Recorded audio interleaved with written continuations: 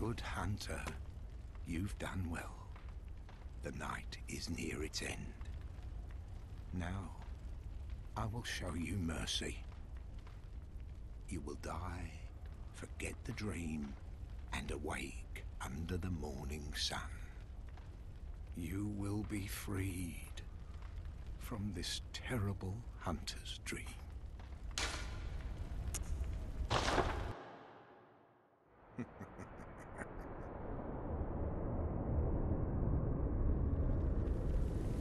dear, oh dear.